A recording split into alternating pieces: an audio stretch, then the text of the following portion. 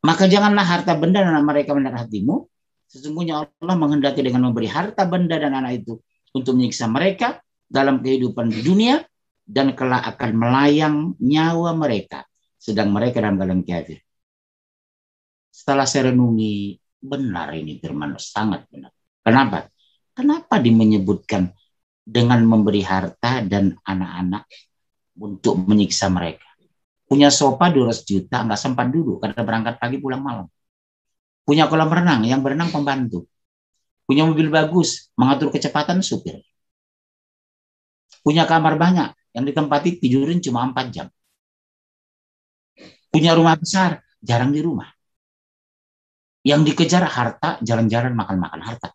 Oh, Masya Allah. Begitu meninggal neraka jahanam. Khalidina fiha abada. Saya terkejut kemarin tulisan Pak Habibie menjelang meninggal. Kalau boleh memilih, lebih bagus saya dalam agama. Masya Allah. Poin terakhir, kita buka sesi tanya jawab. Sudah hampir satu jam. Kenapa meninggal Sul Khotimah? Bergaul dengan orang-orang yang berperangai buruk. Di padang masa dipisah Pak wa ummuhi wa abi wa sohibatihi wa bani dipisahkan dari ibu dan ayah dan dipisahkan dari sahabat-sahabat. Gak bisa nolong waktu itu. Waktu itu nggak ada. Pada saat huru hara hari kiamat. Sampai Aisyah masih mengatakan, aku gak sempat menyebut nama aku Maria, ibuku Maryam. Karena dahsyatnya huru hara hari kiamat ini. Sampai pengumpulan dan penggiringan di padang masyar.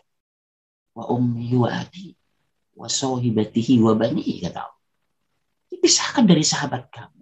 Nafsi-nafsi. Masya Allah. Apa itu?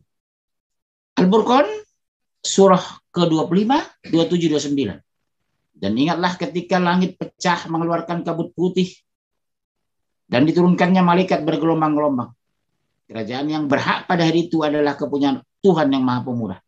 Dan pada hari itu, satu hari yang penuh dengan kesukaran bagi orang-orang kafir. Masya Allah digiring dan dipermalukan.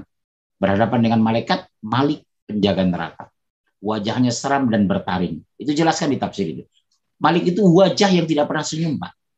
Itu dibikin Allah bertaring. Melihat aja udah mengerikan orang. Tangan itu diborgol begini, ada jelasan tafsir, baru diikat. Dililit dengan rantai. Diseret mereka. Begini modelnya. Diikat gini Pak Ipak.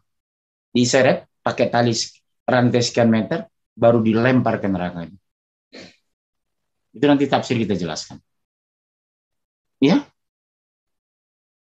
Ayat 27-nya, dan ingatlah hari ketika itu orang yang zalim menggigit dua tangannya. Yang zolim. Seraya berkata, aduhai, kenapa dulu aku tidak mengambil jalan bersama-sama Rasul? Kenapa kau dulu memperoleh Rasul? Mempermainkan Al-Quran? Cuek dengan agama? Ada kajian online tidak mau dengar. Lebih depan-depan sinetron daripada depan ustadz.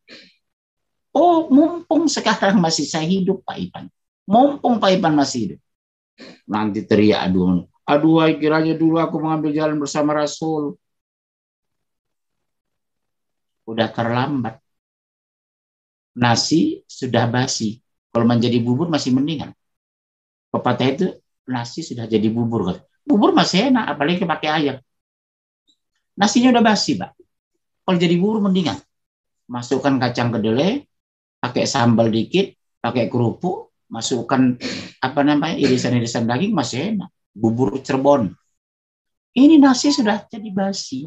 Dimasak makin hancur. Dibiarkan ayam aja mencret makan itu. Wallahu alam bisawab.